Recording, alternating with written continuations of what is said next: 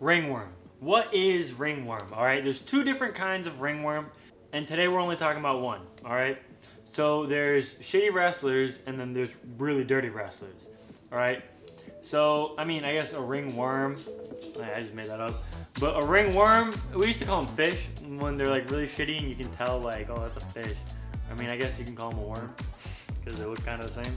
Flopping on the mat is like ringworm, the actual skin disease. I've had, I started like grappling when I was 12, so I've had too many skin diseases to count. All right, they're nasty, dirty. You don't want them. They make you feel gross. All right, how do you prevent them? Most important, number one is prevention. Okay.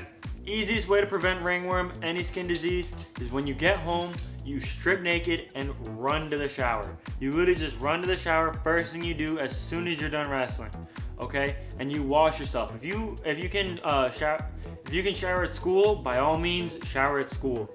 But I'm telling you, like ringworm, like, and when one person gets ringworm, like the whole team ends up getting ringworm, and it's like bro that shit it like it is not fun. I've had to use makeup to cover up ringworm which is like really shitty. You shouldn't do that at all. Prevention. Do not waste any time when you're showering all right? Not waste any time when you're showering so the second you get home you need to strip naked run to the shower use soap you need to shampoo your head wash the back of your head back of your neck your shoulders your back all your entire arm between your fingers i've gotten ringworm right here on my finger before uh, you know, behind your ears, gotten ringworm behind my ear. Uh, your chest, your whole body, obviously. Armpits, whatever. Scrub your legs. Scrub your legs with like a loofah or some shit. Scrub your knees, scrub your calves. Like scrub them with something. Scrub them hard, okay? Uh, when I practice, I take three showers every day. I take a shower when I wake up before school or work or whatever. Uh, shower after practice, and then I shower right before bed. Okay? Sometimes maybe I shower before practice, depending on how I'm feeling. But that's four showers in a day. And they take like five minutes a piece, uh, and it's like, I'm, I feel like a brand new man right after. So, do not be conservative with your showers. Don't be conservative with your soap. Scrub your entire body, all right? You will be surprised on the places you forget to scrub. Okay? That being said, you already, let's say you already have ringworm and you've had ringworm for a while and it just keeps on popping up randomly.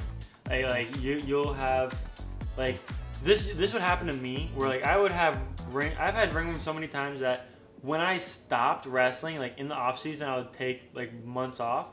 I would uh, like just a random ringworm would pop up on my arm.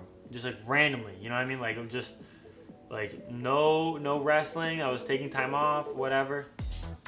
A random ringworm would just pop up on my arm or on my back or on my neck or wherever, wherever, it doesn't matter.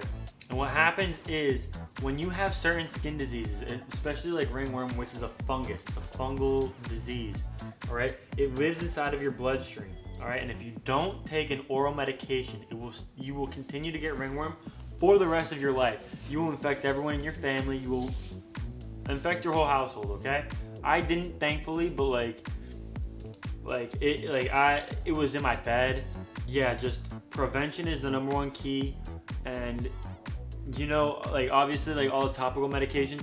But the most effective thing, in my opinion, is the oral medication. Just go with the with like the prescription pill or whatever the fuck, and just call it a day. You know, and just take that, put the put the cream on it every day. Be real diligent about it.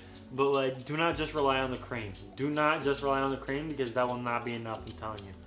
Okay.